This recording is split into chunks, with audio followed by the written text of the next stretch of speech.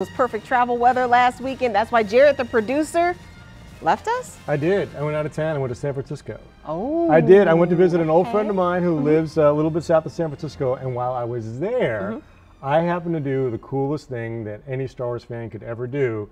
So that's why I want to share with you guys. And So it's not your basement that's the coolest thing. No, I mean, I'm no, sorry, try- but it's pretty trust me, cool. yeah, so yeah, everybody looked so at my something basement. above it. Yes, everybody looked at my basement like he's crazy. Well, I went to someone's basement who is, yeah, it's me to the millionth degree. It's, His name is Steve Sansweet. You have He- some pictures? Did you bring us pictures? I brought you some pictures and we'll show you them in a second. Let's kind of explain a little backstory before you see it. Steve, for years, was just known as the one like the greatest Star Wars collector in the world. Mm-hmm. He had this huge collection, and he used to he used to work he used to work for the Wall Street Journal.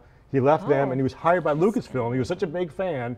He was hired by Lucasfilm to become their fan liaison. Okay. So, long story short, Steve has this amazing collection that five years ago uh, he opened to the public.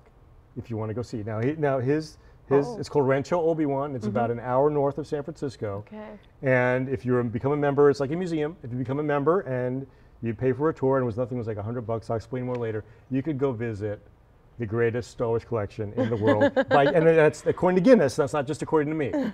So let's go take a look at the video because it was just the, one of the coolest things I've ever seen in my entire life. so this is basically like we're in the hallway of Steve's house, and Steve opens his door, oh no. God.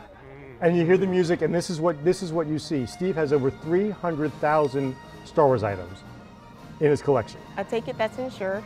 Yes. Yes. I would think for millions, for millions. I mean, he's got some items that are just unbelievable and, and one of a kind, and he's got this is an animatronic Cantina band Oh wow. From so the original Star Wars. And Steve is he Steve was a fantastic host. The tour that I went on was four and a half hours. I'm sure. It, it could have gone on longer. And that, that right there is the only one in the world. It's a tower of original carded Star Wars figures from the first release. Wow.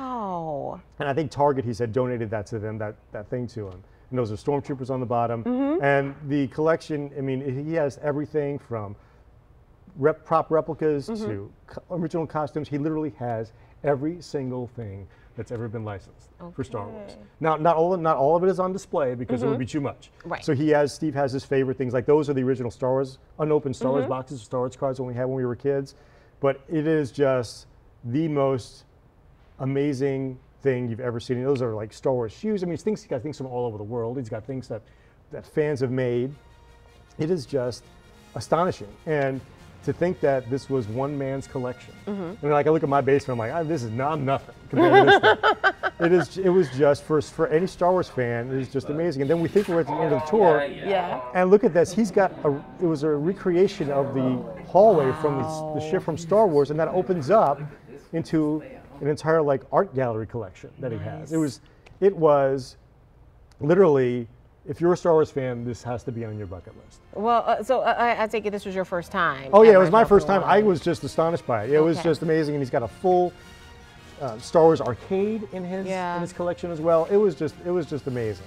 And like I said, if it is open to the public, you just go to his website, Mm-hmm. which is uh, ranchoobiwan.org, and you can become a member. It's forty-five dollars a year. Yeah. That's it. And if you want a tour, it's either sixty bucks, or if you want to get one from Steve himself, it's seventy-five. There are stores that cost a lot more that don't show you anywhere near as much. And the tour is it goes any he says goes anywhere from two to four hours. My hours is four and a half. okay. And he was just the most amazing thing. So if you're a Star Wars fan and you're ever in the San Francisco area, I know it's not local, but if you're mm-hmm. ever on vacation out there, you got to check it out. a It was idea. one of a kind. All right, sir. Well, welcome back. Well, thank you. Even I, know if I'm looking at that, I, I don't see why you I, came I back. didn't, I don't want, know I if didn't want to go. I didn't want to leave. I can tell you that much. Well, if you ever come up missing, we know where to search. Petaluma, California, Obi-Wan. everybody. RanchoObiWan.org. We will have links on the Fox 2 Now app. That's how you travel here on the 9 a.m. show.